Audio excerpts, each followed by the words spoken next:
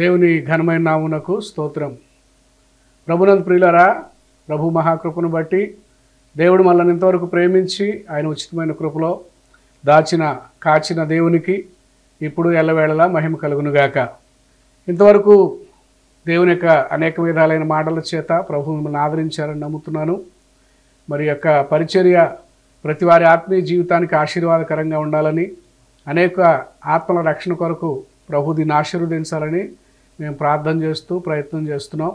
మీరు కూడా దానిని మీ ప్రార్థనలో ఎత్తిపడుతున్నారు అనుకుంటున్నాను.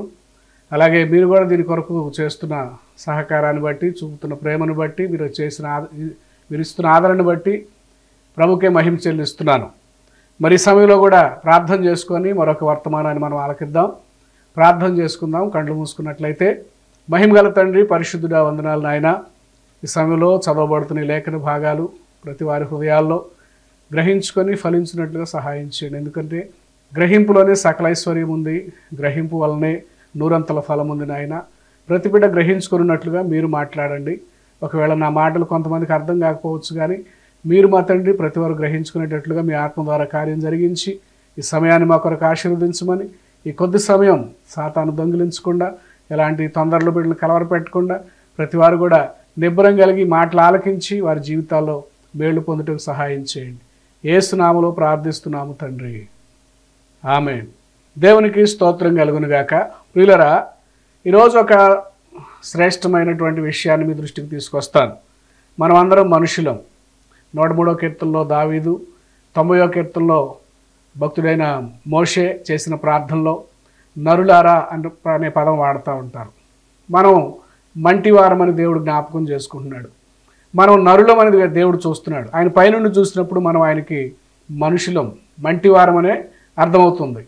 అయితే పౌలపోస్తరుడు ఇంకొంచెం ముందుకెళ్ళి ఈ మట్టి ఘటాలలో ఆయన తన మహిమైశ్వర్యం ఉంచాడు. ఆ జీవం మాలో ప్రత్యక్షమవుతుంది. వాస్తవానికి నరులందరూ కూడా మృతి చెందవలసిన వారే. ఈ మట్టి నశించిపోవలసిందే. మన బ్రతుకులు ఎందుకు పనికిరావు? అయితే దేవుడు దీన్ని ఒక ప్రయోజనకరమైన పాత్రగా మలిచారనే సంగతి పౌల పోస్తులుడి ద్వారా సంఘానికి దేవుడు ఎంతో స్పష్టంగా మాట్లాడారు. అయితే ఈ విషయాలు మానవ జాతికి ఎలా వచ్చినాయి? నరులకు ఈ విషయాలు అర్థం అవడానికి దేవుడు చేసిన మూడు విషయాలు బైబిల్ గ్రంథంలో నుంచి నరులుగా లేక మనుషులుగా మన పట్ల దేవునికి కలిగి ఉన్న సంకల్పం మనం ఒక మనుషునిగా ఆయన ఎలా ఎదుర్కోవాలి ఆయన దగ్గరికి ఎలా వెళ్ళాలి ఆయన సన్నిధిలో ఎలా మనం ప్రార్థన చేస్తే ఆయన కృప పొందుతాం ఒకవేళ చేయకూడదు ఏంటి అని మీకు అర్థమయ్యేటట్టుగా ఒక మూడు విషయాలు మీతో మీ దృష్టికి తీసుకొస్తాను. మరి సమయాన్ని బట్టి మీరు అందరూ కూడా జాగ్రత్తగా ఆలకించాలని ప్రభు పేరు తెలియపరుస్తున్నాను. మొట్టమొదటిగా మత్తయ్య రాసిన సువార్త పరిశుద్ధ గ్రంథంలో నుంచి మత్తయ్య సువార్త పదహారో అధ్యాయంలో పదిహేడో వచనం చదువుతున్నాను. మత్తయ్య సువార్త పదహారో అధ్యాయం పదిహేడో వచనం. అందుకు యేసు సీమోను బరియోనా నీవు ధన్యుడవు. పరలోకమందున నా తండ్రి ఈ సంగతి నీకు బయలుపరచినే గాని నరులు నీకు బయలుపరచలేదు. దేవునికి స్తోత్రం కలుగునుగాక నరులు అనే దానికి అర్థం ఇక్కడ ఏమని వాడబడిందంటే రక్త మాంసాలు. రక్త మాంసాలు ఈ సంగతి నీకు బయలుపరచలేదు. పరలోకమందున్నటువంటి దేవుడు మాత్రమే నా తండ్రి ఈ సంగతి నీకు పరలోకమందున నా తండ్రి నీకు బయలుపరిచాడు.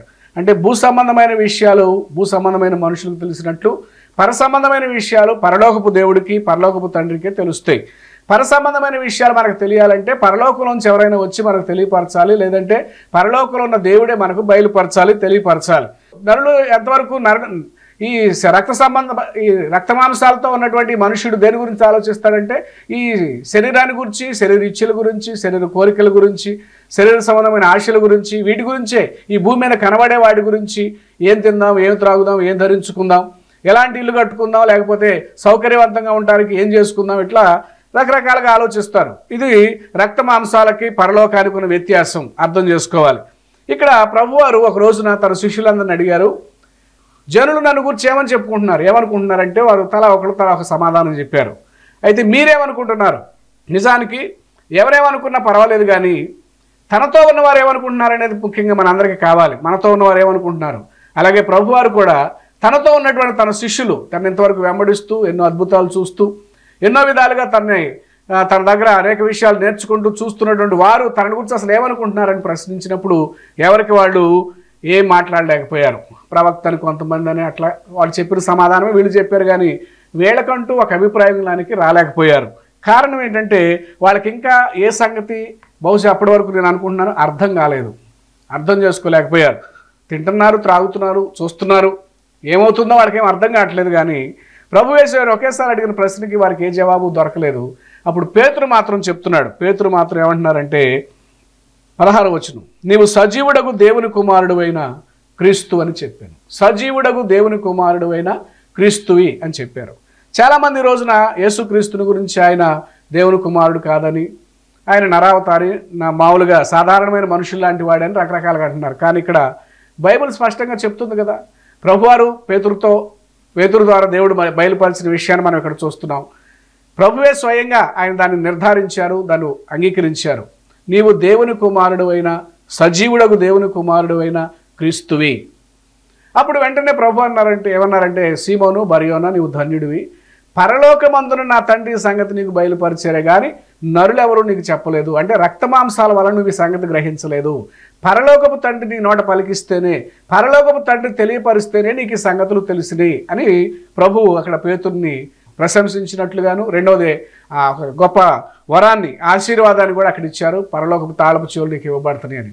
అయితే ఇక్కడ మనం నేర్చుకోవాల్సిన విషయం ఏంటంటే ఈ రోజున మనం కూడా దేవునితో ఉంటున్నాం అనుకుంటున్నాం ప్రార్థన చేస్తున్నాం అనుకుంటున్నాం.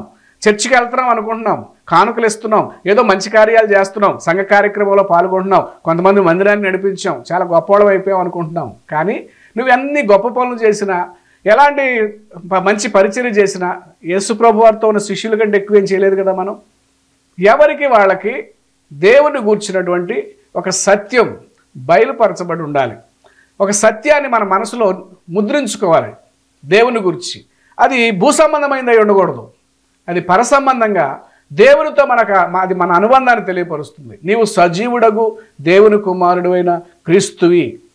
మరొక ప్రస్తావన వచ్చినప్పుడు మరొక సందర్భం వచ్చినప్పుడు యోహాను సువార్త ఆరో అధ్యాయంలో నా శరీరము తిగి తిని నా రక్తము త్రాగితేనే కానీ మీలో మీరు నిత్య జీవం గలవారు కాదు అని ప్రభు చెప్తూ ఇదిగో నా శరీరం మీరు తిని తినండి ఇదిగో నా రక్తం మీరు తాగండి అని చెప్తున్నప్పుడు చాలామంది ఎలా తన శరీరాన్ని తిన్నిస్తాడు ఎలా తన రక్తాన్ని తాగనిస్తాడని వెనకంజి వేసి వెళ్ళిపోయారు. అప్పుడు శిష్యులు కూడా అడిగి వీళ్ళని మరలా మరలా అడిగాడు అక్కడ కూడా ప్రభు. మరి మీరు కూడా వెళ్ళిపోవాలనుకుంటున్నారంటే అప్పుడు మరలా పేతురు అంటాడు.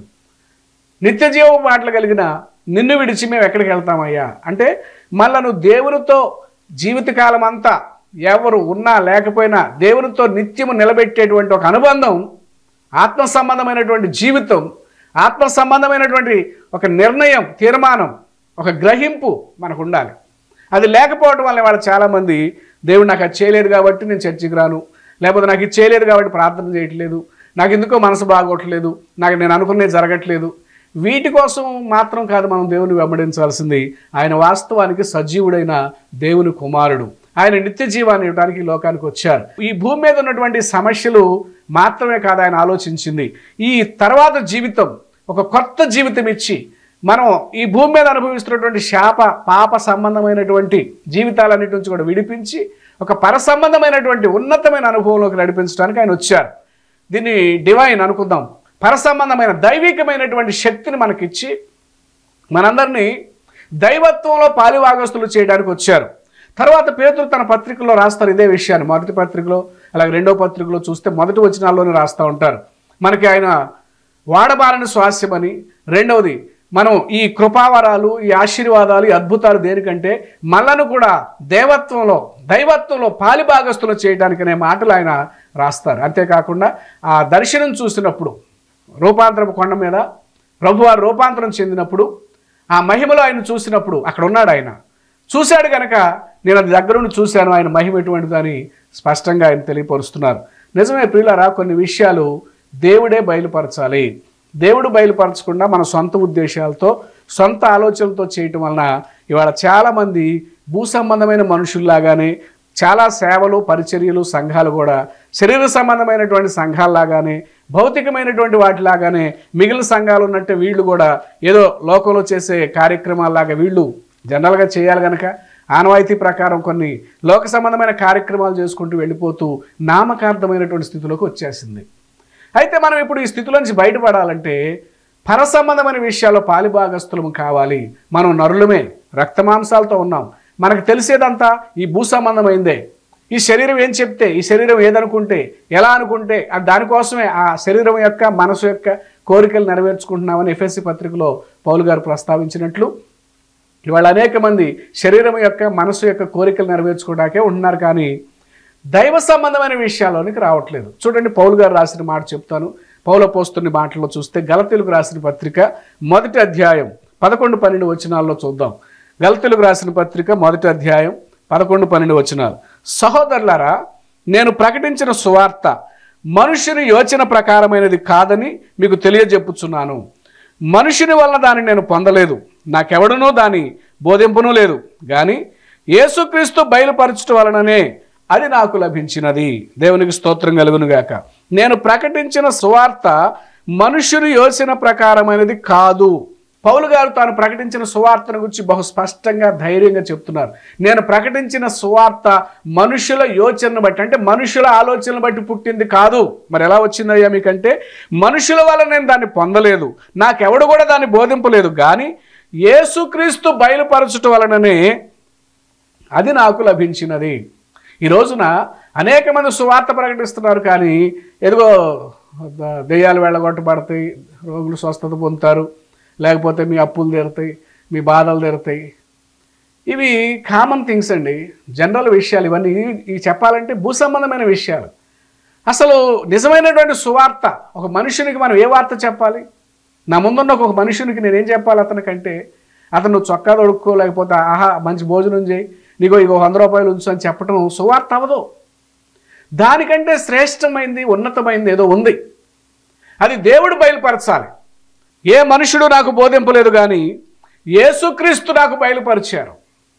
ఎస్ ఎఫ్ఎస్సి పత్రిక మూడో అధ్యాయంలో చెప్తారు కొలసి పత్రికలో చెప్తారు తను ఎక్కడ సువార్త ప్రకటిస్తున్నా తనకు దేవుడు బయలుపరిచిన ఆ సువార్త మర్మాన్ని ఆయన ప్రజల మధ్యలోకి తీసుకెళ్ళడానికి ఎంతో ప్రయాసపడ ఎంత ప్రయాసపడ్డాడంటే తన జీవితకాలాన్ని అర్పించేశారు. తన జీవితం మొత్తాన్ని త్యాగం చేశారు ఆ సువార్త కోసం. అంతగా ఆయన్ని ప్రభావితం చేసినటువంటి ఆ సువార్త ఈ రోజున మనల్ని ఎందుకు ప్రభావితం చేయలేకపోతుందంటే మనం మనుషుల యోచనలు బట్టి నడిచేవారుగా ఉన్నామేమో ఒకసారి పరీక్షించుకుందాం. మనుషుల ఆలోచన బట్టి నడిస్తే భారం ఉండదు బాధ్యత ఉండదు. అది అనుకున్నాం కాబట్టి అయితే అయితే లేకపోతే లేదు. అదే దేవుడు బయలుపరిస్తే దానికోసం ప్రాణం పెట్టాలనిపిస్తుంది. పౌలు గారికి ఈ సువార్త యేసుక్రీస్తు బయలుపరిచారని చెప్తున్నారు. నిజమే ఆయన ప్రభువుని విశ్వసించిన తర్వాత సంఘంలో చాలామంది ఆయనకు భయపడి ఎక్కడ ఆయన మరలా తిరిగి వాళ్ళని శిక్షిస్తాడో హింసిస్తాడో లేకపోతే ఇంకెలా వచ్చాడో అని వాళ్ళకి అర్థం కాక సంఘం చాలా కాలం ఆయన చేర్చుకోలేకుండా ఉన్నప్పుడు ఆయన ఒంటరిగా వెళ్ళి కొన్ని సంవత్సరాల పాటు అరేబియా ఎడారిలో ఇంకా కొన్ని ప్రాంతాల్లో ఉంటాయి. బైబిల్ అక్కడక్కడ ప్రస్తావనలు వస్తాయి. ఆయన ఒంటరిగా కొన్ని సంవత్సరాల పాటు కనిపెట్టుకొని ప్రార్థన చేస్తే దేవుడు తన సువార్త మర్మాన్ని ఆయనకు తెలియపరిచినప్పుడు అప్పుడు ఆ దేవుడు బయలుపరిచిన సువార్తను పట్టుకొని అన్యజనుల మధ్యలోనికి వెళ్ళి సువార్త ప్రకటించినప్పుడు సరసాల పునాదులు కదిలిపోయినాయి. మాంత్రికులు సైతం తమ మంత్రగ్రంథాలు తగలబెట్టేసేసి విశ్వసించారు ప్రభువుని. అధికారులు సాధారణ ప్రజలు రోమియులు ఇంకా రకరకాలైనటువంటి అన్యజనుల ప్రాంతంలో ఉన్న ఆసియా అంతటా నేను సువార్త ప్రకటించానని చెప్తారు. ఎఫెసు వంటి విగ్రహారాధన కూడినటువంటి ఆ పట్టణంలో సైతం అద్భుతమైనటువంటి పరిశుద్ధాత్మ నింపుదలతో కూడిన గొప్ప సువార్త పరిచర్య అక్కడ జరిగి సంఘం కట్టబడింది. ఫిలిప్పిలో సంఘం కట్టబడింది. తెస్సలోనికలో సంఘాలు కట్టబడ్డాయి. ఇవన్నీ కూడా ఎలా జరిగింది అంటే దేవుడు బయలుపరిచిన సువార్త నరులు బయలుపరచలేదు. మనుషుల యోచనను బట్టి చేయలేదు. మరి వాళ్ళ సేవకులు ఒకవేళ నా మాటలు ఆలకిస్తుంటే గ్రహించండి. దేవుడు మా సేవను దీవించాలి లేక మా కుటుంబాన్ని అభివృద్ధి చెందించాలి మా ప్రాంతంలో పరివర్తన తీసుకురావాలనుకుంటే ఏ మనుషుని యోచన యోచన బట్టి కాకుండా వాళ్ళెట్టా చేస్తున్నారు వీళ్ళెట్టా చేస్తున్నారు లేకపోతే ఆ పేరున్న సేవకుడు పిలిస్తే ఏమన్నా పని జరిగిద్దేమో లేకపోతే ఇగో జనం వస్తున్నారు పలానా ఆయన పిలిస్తే ఆయన పిలిస్తే అయిద్దేమో అనుకోవద్దు దయచేసి. వస్తారు వెళ్తారు అంతే. నీకేం ఉపయోగం ఉండదు. అయితే ఒకటి చేయండి. దేవుని దగ్గర కనిపెట్టుకొని ప్రార్థన చేయండి. ప్రభువా నన్ను ఒక ప్రాంతానికి పంపించే ఇదిగో నేను ఈ ప్రాంతంలో సేవ చేస్తున్నాను. ఇక్కడ నీ సేవ జరగడానికి నీ వర్తమానం నీ సువార్త ఎలా తీసుకెళ్ళాలో నాకు బయలుపరచండి అని అడగండి. దేవుని ఆలోచన బట్టి చేయండి దేవుడు దాన్ని ఫలింపు చేస్తాడు. అంతేకాదు అందుకు కావలసినటువంటి తాళపు చెవులు ఆయన నీకు ఇస్తాడు. సువార్త ద్వారాలు తెరవబడతాయి. నేను పనిచేస్తున్నటువంటి పెనమలూరు ప్రాంతంలో సువార్త పరిచయకి వెళ్ళినప్పుడు సేవకులు సైతం అన్నారు నువ్వు మరి సరైన ఏరియా ఎంచుకోలేదు అందుకని నువ్వు ఇంకా ఎట్లా ఉన్నావు? కానీ నేను మాత్రం దేవుణ్ణి అడుగుతున్నాను. ఇప్పటికీ అడుగుతాను. ఇంకా ఈ ప్రాంతానికి నేను ఎలా సువార్త అందించాలి ప్రభు అని. అంది అడిగినప్పుడు దేవుడు అక్కడ అనేకమైనటువంటి అన్యజనులు సైతం రక్షణ పొందటానికి విశ్వసించి ఈ రోజున ప్రభువు కోసం ప్రాణాలు అర్పించడానికి కూడా సిద్ధపడేంత విశ్వాసులు అక్కడ తయారయ్యారు. అది నా భక్తి నా శక్తి కాదు. దేవుడు బయలుపరిచిన విధంగా దేవుడు చెప్పమన్న విధంగా చెప్తే సువార్త వ్యాప్తి చెందుతుంది. అక్కడ యేసుక్రీస్తు మహింపరచబడతారు. అసలు ఏసు అంటే ఏంటో ప్రజలకు అప్పుడు అర్థమవుతుంది. కాబట్టి పౌలు గారి మాట తీసుకుందాం. ఏ మనుషుని నేను సంప్రదించలేదు ఎవరి దగ్గర నేను నేర్చుకోలేదు కానీ ఒకటి మాత్రం తెలుసుకున్నాను. యేసుక్రీస్తు నాకు దీన్ని బయలుపరిచారు దాన్ని నేను తీసుకెళ్తున్నాను. చూడండి కొలసి పత్రికలో చెప్తాడు అదే మర్మాన్ని గురించి తనకి బయలుపరచబడిన విషయం చూస్తే కొలసీలకు రాసిన పత్రికలో మొదటి అధ్యాయం ఇరవై ఏడవ వచనం చూస్తే కొలసీలకు రాసిన పత్రిక మొదటి అధ్యాయంలో ఇరవై ఏడవ వచనం. అన్యజనులలో ఈ మర్మము యొక్క మహిమైశ్వర్యం ఎట్టిదో అది అనగా మీ అందున్న క్రీస్తు మహిమ నిరీక్షణ అయి ఉన్నాడను సంగతిని దేవుడు తన పరిశుద్ధులకు బయలుపరచగోరి ఇప్పుడు ఆ మర్మమును వారికి బయలుపరచను. దేవునికి స్తోత్రం కలుగునుగాక అన్యజనులలో ఈ మర్మము యొక్క మహిమైశ్వర్యం ఎట్టిదో అది అనగా మీ అందున్న క్రీస్తు మహిమ నిరీక్షణ అయి ఉన్నాడనే సంగతి దేవుడు తన పరిశుద్ధులకు బయలుపరచగోరు ఇప్పుడు ఆ మర్మమును వారికి బయలుపరచను. దేవునికి స్తోత్రం. అన్యజనులలో ఈ మర్మం యొక్క మహిమైశ్వర్యం యూదులు పితరులు పెద్దలు వారంతా ప్రత్యక్షతలు పొంది వాగ్దానాలు పొంది వారు దేవుని యొక్క కాపుదల్లో ఉండి నేటికి వారు దేవుని యొక్క ఫలాలు అనుభవిస్తున్నారు. అయితే మరి అన్యజనులలో ఈ మర్మం యొక్క మహిమైశ్వర్యం ఎలాంటిది? భారతదేశం లాంటి మరి ఇంకా మిగిలిన దేశాలన్నీ ఒక ఇస్రాయెల్ తప్ప మిగిలిన దేశాలన్నీ అన్ని దేశాల కింద చెప్తారు. మరి ముఖ్యంగా మనం ఉన్నటువంటి ఈ ప్రాంతంలో మన తెలుగు వాళ్ళం ఈ దేవుని యొక్క సువార్త మర్మం యొక్క మహిమైశ్వర్యం ఎట్లాంటిదో మనకు అర్థం కావాలంటే మనలో ఉన్న క్రీస్తు ఫస్ట్ మనలో ఉన్న క్రీస్తు మనం సేవిస్తున్న మనం ప్రార్థన చేస్తున్న దే ఎలాంటి వారంటే మహిమై ఉన్నాడు ఆయన గ్లోరీ గ్లోరీనెస్ నిరీక్షణ అయి ఉన్నాడు మహిమై ఉన్నాడు నిరీక్షణ అయి ఉన్నాడు. ఆ సంగతి తన పరిశుద్ధులకు తెలియజెప్పాలనుకుంటున్నాడు. అది ఇప్పుడు ఆ- మర్మాన్ని దేవుడు ఇప్పుడు బయలుపరిచాడు. ఈరోజు ఈ మాటల ద్వారా కొంతమంది అయినా మీరు గ్రహించాలి. మీ ఎందు మీలో ఉన్న క్రీస్తు మీ ఎందున్న క్రీస్తు మీరు సేవిస్తున్న క్రీస్తు మీరు ఉచ్చరిస్తున్న యేసునామం మహిమ గలది. అంటే మహిమ గల కార్యాలు చేస్తుంది. మహిమలోనికి నడిపిస్తుంది. మహిమను చూపిస్తుంది. రెండవది నిరీక్షణ పుట్టిస్తుంది. నిరీక్షణ లేని సమయంలో నిరీక్షణ కలగజేస్తుంది. ఆశ లేని స- చోట ఆశ పుట్టిస్తుంది. ఏమీ లేదనుకున్న చోట అన్నీ కలగజేస్తుంది ఇంకా టోటల్గా చెప్పాలంటే మనం ఈ శరీరంతో చేయలేంది. మన జ్ఞానంతో తెలివితేటలతో డబ్బుతో చదువు విజ్ఞానం పలుకుబడి పరపతులతో చేయలేంది. యేసుక్రీస్తు చేస్తారు. ఈ సంగతి చాలామందికి అర్థం కావట్లా. మనలోనే మహిమగల దేవుణ్ణి పెట్టుకొని మనతోనే నిరీక్షణకర్త అయిన దేవుణ్ణి కలిగి ఉండి ఎవరో ఏదో చేయలేదు ఎవరో ఏదో ఇస్తారు ఎక్కడి నుంచో ఏదో రావాలి అని చూడటం మనకి మర్మం అర్థం కాలేదనే సంగతి నాకు అర్థమవుతుంది. ఈ ఈ సందర్భంగా మీరు అర్థం చేసుకోవాలి. మనుషులు నరులు అర్థం చేసుకోవాల్సింది ఏంటంటే యేసుక్రీస్తు ఎవరై ఉన్నారు? మనం ప్రార్థన చేస్తున్న యేసుక్రీస్తు నువ్వు సేవిస్తున్న యేసుక్రీస్తు మహిమై ఉన్నాడు ఆయన. మహిమై ఉన్నాడంటే ఆయన ఎక్కడుంటే అక్కడ మహిమ. ఆ నామం ఎక్కడ జరగ ఉచ్చరిస్తే అక్కడ మహిమ. రోగం గల చోట ఉచ్చరిస్తే అక్కడ మహిమ. రోగం రోగం నుంచి విడుదల. పాపం ఉన్న చోట ఉచ్చరిస్తే పాపం నుంచి విడుదల. అక్కడ దేవుని మహిమ బయలుపరచబడుతుంది. ఆ పాప అన్న మారాలి లేకపోతే వాడికి శిక్ష అన్న పడాలి మన ఎందున్న క్రీస్తు మహిమై ఉన్నాడు నిరీక్షణ అయి ఉన్నాడు. ఈ సువార్త ద్వారా అన్యజనుల్లో దేవుడు బయలుపరచాలనుకున్న మర్మం ఆ సీక్రెట్ ఆ చెప్పాలనుకున్నటువంటి బయలుపరిచినటువంటి పౌలు గారికి బయలుపరిచిన విషయం ఏంటంటే మీ అందున్న క్రీస్తు మన ఎందున్న క్రీస్తు మహిమై ఉన్నాడు నిరీక్షణ అయి ఉన్నాడు. కాబట్టి యేసు అనగానే ఒక మహిమను వెతకాలి తప్ప ఏసైని నమ్ముకున్నాం. ఏంటి బాధలు? దేవుడి దగ్గరికి వెళ్తున్నాం. నీకు అన్ని కష్టాలే. ఈగా చూడాల్సింది. ఆయన కష్టపడింది. మనం కష్టాల పాలవ్వాలని కాదు. చాలామంది ఎందుకు అపార్థం చేసుకున్నారు సులువుని? ఆయన సులువు వేయబడింది. మళ్ళీ మనకు కూడా సులువు లాంటి శిక్షలు వస్తాయని కాదు. మన శిక్షను తాను భరించి మనకు ఆ శిక్ష నుంచి విడుదల కలిగించడానికి ఆయన సులువులు అనుభవించాడు. అంటే తాను అనుభవించి మనకేం విడుదలిచ్చాడు. ఇది అర్థం కావట్లేదు చాలామందికి. యేసుని నమ్ముకుంటే కష్టాలు అనుకుంటున్నారు కొంతమంది. యేసుని నమ్ముకున్నందుకు కష్టాలు కాదండి. ఒకవేళ మీకు ఏదైనా ఇబ్బంది అనిపిస్తే అది అది ఎలాంటిదంటే నిన్ను దేవుడు తన మహిమలోనికి నడిపించేటప్పుడు ఆ- శిల్పి చిక్ చెక్కేటప్పుడు ఎలాంటి ఉలి దెబ్బలు తగులుతాయో అలాంటిది అనుకోండి. అంతే. నిన్ను ఒక మహిమగా మలుస్తున్నాడు అనుకోండి తప్ప ఇవి కష్టాలు సమస్యలు శోధనలు అని మాత్రం అనుకోవద్దు. దేవుడు మనల్ని ఎప్పుడు కూడా మహిమలోనికే నడిపిస్తాడు. యేసుక్రీస్తు అన్యజనుల ద్వారా మహిమ పొందుతారు. మన ద్వారా నా ద్వారా మీ ద్వారా మనందరి ద్వారా మహిమ పొందాలి. ఒకవేళ నీకు ఏదైనా శోధన వచ్చిందనుకో ఉదాహరణ చెప్తాను. నువ్వు భరించలేని బాధ నీ ఇంటి మీదకి వచ్చింది. నిందలే వేశారు అవమానపరిచారు అవమానాలు పాలు చేసేసారు అటువంటి పరిస్థితుల్లో సున్నిత మనస్కులు మనుషులందరికీ చిన్న మనసే కదా? పెద్ద విశాలమైన మనసు అంటే అన్నారులే అనుకునే మనసు లేదు కదా బాధపడతాం. ఏదో సందర్భంగా అవమానాలు నిందలు కష్టాలు వచ్చినప్పుడు ఆ బాధ అనిపించి ఆ బాధలో ఏంటి నా బ్రతుకు ఇలా అయిపోయింది? ఎందుకు నా పరిస్థితిలో మారిపోయింది?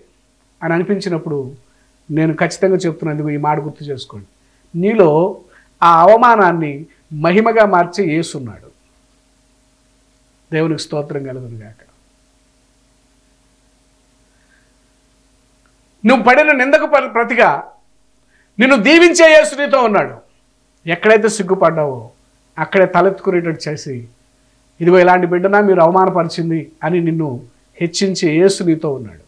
అంత మహిమ ఉంది ఆయన దగ్గర. ఆ మహిమను మనం వెతకాలి. మహిమను వెతకండి. యేసులో ఉన్నటువంటి నిరీక్షణతో కూడినటువంటి ఆ మహిమ గల కార్యాలను వెతకండి. ఇది నరులకు దేవుడు సెలవిచ్చిన మాట. నరులకు దేవుడు బయలుపరిచింది. నరులంటే ఆ రోజున పేతురైనా ఇవాళ పౌలైనా కొలస్యలో ఉన్నవారైనా ఇవాళ మనం మన ఆంధ్రప్రదేశ్లో ఉన్న మనమైనా మనం అందరం నరులం రక్తమాంసాలతో ఉన్నాం. అయితే ఈ రక్తమాంసాల్లో దేవుని మహిమను బయలుపరచాలనుకుంటున్నాడు. కనుక దేవుని దగ్గర వెతకండి. అలా వెతికిన మోషే తన శరీరం ద్వారా సాధించలేంది. దేవుడు ఆయనకి మండుచున్న పొద ద్వారా బయలుపరిచిన విషయాలను బట్టి ఆయన గొప్ప దేశాన్ని ఎదిరించి ప్రజలను విడిపించుకొచ్చాడు. స్తోత్రం కలుగును గాక.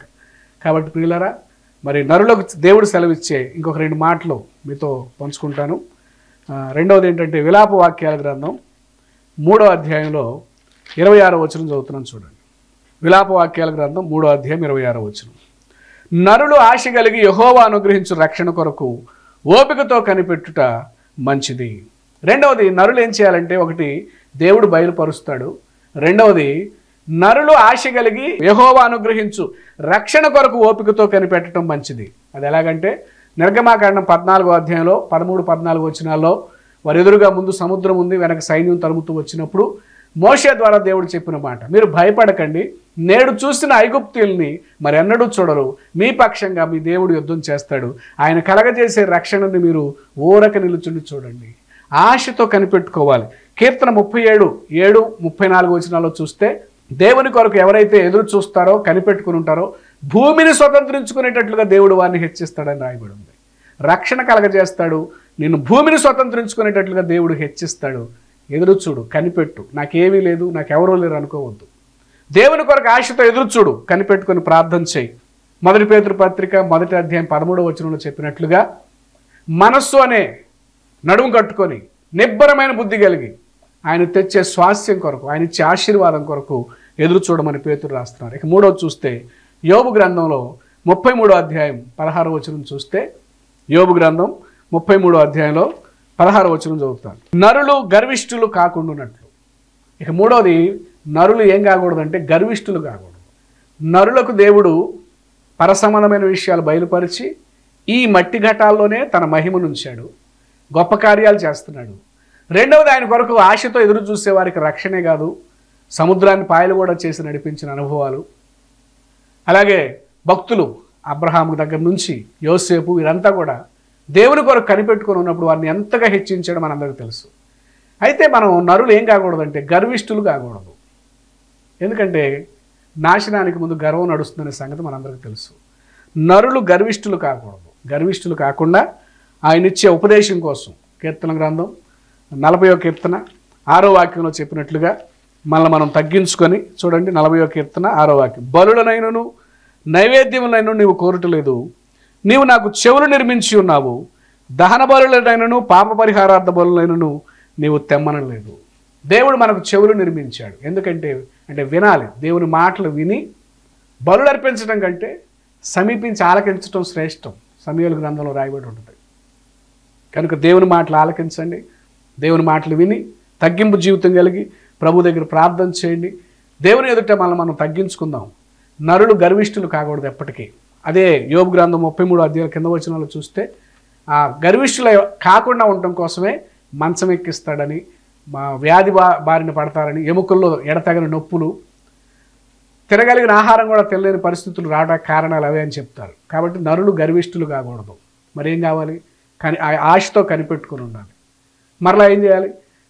రక్తమాంసాలు బయలుపరచని విషయాలు దేవుడు బయలుపరుస్తాడు గనక దేవుడు మన పట్ల మన జీవితం పట్ల మన కుటుంబం పట్ల మన దేశం పట్ల అలాగే మీకున్న బిడ్డల పట్ల దేవుడు ఏ విషయాలు బయలుపరుస్తాడో దేవుని దగ్గర ఎదురు చూడండి కనిపెట్టండి. మోషకు తన మార్గాలు తెలియపరిచినట్లు మీకు కూడా తన మార్గాన్ని తెలియపరుస్తాడు. అంతేగాని గర్వించి అహంకారంతో నాకంతా తెలుసు నాకంతా వచ్చు నాకేంట్లే అనేటువంటి గర్వం ఎప్పటికీ జీవితంలో రానివద్దు నరులు గర్విష్ఠులు కాకూడదు. మరేం చేయాలి? కనిపెట్టుకొని ప్రార్థన చేయాలి. అలా ప్రార్థన చేసి దేవుని యొక్క కృప పొందాలని ప్రభు పేరిట మీకు తెలియపరుస్తూ ఈ మాటలు ముగిస్తున్నాను. దేవుడి మాటలు మన కొరకు దీవించునుగాక. ప్రార్థన. మహిమగల తండ్రి పరిశుద్ధుడా ఘనమైన యేసయ్య వందనాలు. నిజమే నాయన మేము నరులం. రక్తమాంసాలు కలిగిన వారం మాత్రమే నాయన. పరమందున్న దేవుడు నాయన. మా జీవితాల పట్ల ఈ మాటలు ఆలకిస్తున్న బిడ్డల పట్ల మీ సంకల్పాలను బయలుపరిచి ఒక నూతన క్రియతో నూతనమైన సమాధానంతో వారి జీవితాలు ఆశ్చర్యకరంగా మహిమలోనికి నడిపించబడినట్లు అనుగ్రహించమని ఏసునామలో ప్రార్థిస్తున్నాము తండ్రి. ఆమె పరమ తండ్రి దేవుని ప్రేమ ప్రభు అయిన క్రీస్తు యేసుకృప పరిశుద్ధాత్ముని నిత్యమైన ఆదరణ ఇప్పుడు సదాకాలం తోడైండి నడిపించునుగాక. ఆమె దేవుడు మిమ్మల్ని దీవించునుగాక.